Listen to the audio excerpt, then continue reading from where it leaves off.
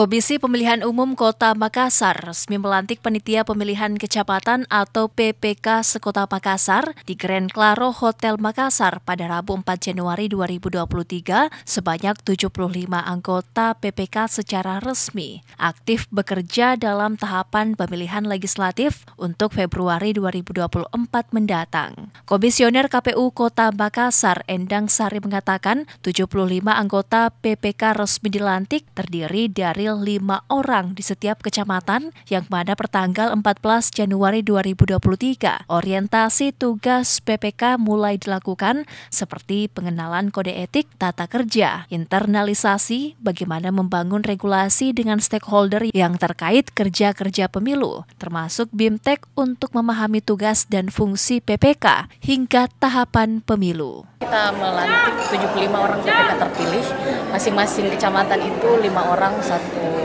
uh, kecamatan dan kita sudah melakukan pelantikan, kita sudah melakukan pengambilan sumpah dan kita akan lanjutkan nanti dengan orientasi tugas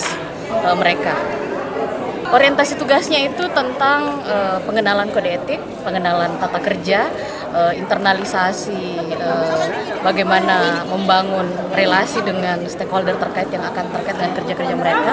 uh, termasuk juga uh, bagaimana mereka memahami tugas dan fungsinya sebagai PPK. Uh, dan juga mengenali tahapan-tahapan yang akan berjalan dan juga uh, menginternalisasi itu dalam kerja-kerja mereka. Seluruh PPK yang dilantik merupakan anggota yang telah melalui tahapan seleksi, mulai dari administrasi dan tes CAT yang mana dari 75 anggota PPK terpilih, kebanyakan wajah baru, namun tetap ada anggota PPK lama yang kembali ikut seleksi dan lolos sehingga PPK lama lebih paham terkait tugas PPK mulai dari tahapan hingga pelaksanaan pemilu berlangsung. Ira, Fajar TV dan Fajar Radio melaporkan.